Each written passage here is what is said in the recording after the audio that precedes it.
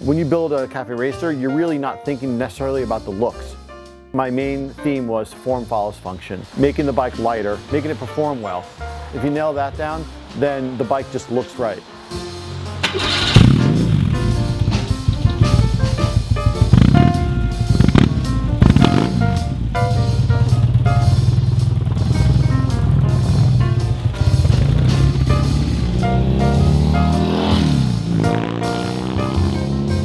My name is Bill Costello. I live in Long Island, New York, and um, I'm here today to talk about this Cafe Racer BMW that I built.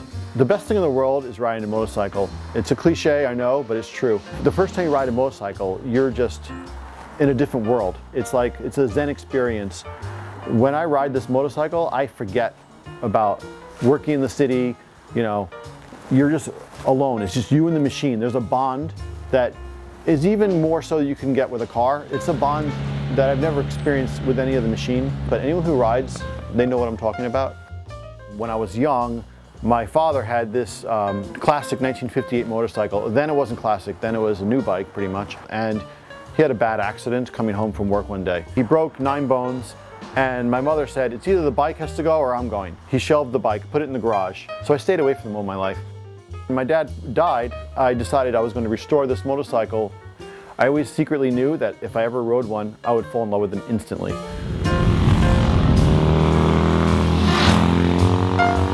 Of course, that happened when I restored my father's bike and learned to ride it.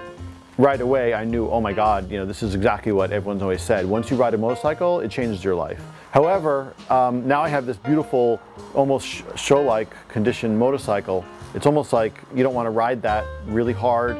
Um, you know, it's from 1958. It's like driving a 1958 Chevrolet around. And pretty much I decided that, you know what, maybe I'll try out another bike that's more practical, one I can beat on, one that I don't have to worry about if it gets scratched. I don't need another bike that I have to polish all the time and keep clean.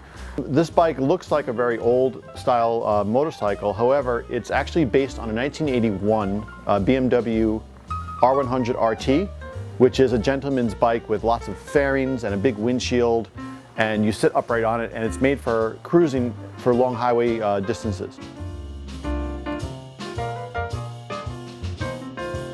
I don't really know how to weld or um, you know, fabricate my own parts. I'm not an experienced bike builder yet. This is my first build.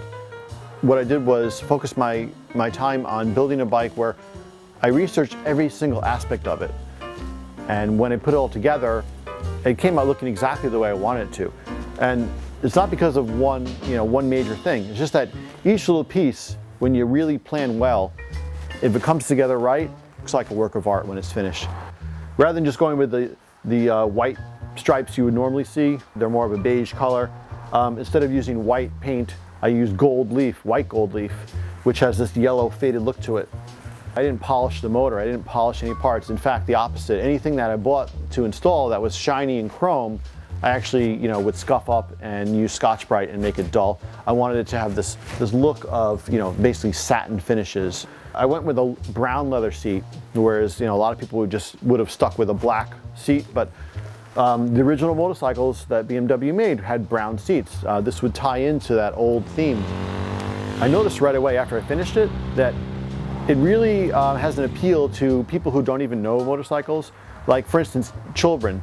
Whenever I stop at lights, I just notice kids with their, with their parents pointing at the motorcycle saying, oh, look at that cool bike.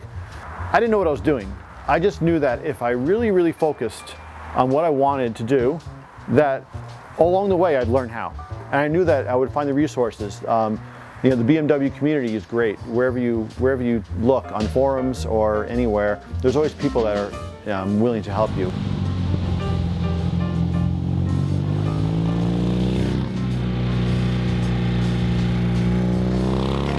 I set a goal for myself that was pretty high and I was able to achieve that. Um, and people ask me, people who know way more about motorcycles ask me, how did you do that? You know, I always wanted to build one. I'm like, well, go ahead. Um, you don't have to know what you're doing. Look, I did it. You need hobbies. And this is a good hobby. Um, it's not just the riding part that I love, it's the actual building of this project that was really enjoyable for me.